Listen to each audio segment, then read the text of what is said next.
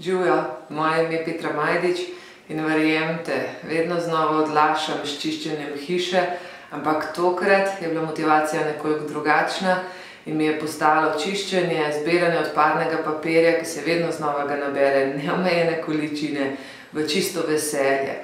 Motivacija seveda je pomagati drugim, z roko v roki verjamem, da smo boljši in pa tudi močnejši, tako da želim tudi vam enako.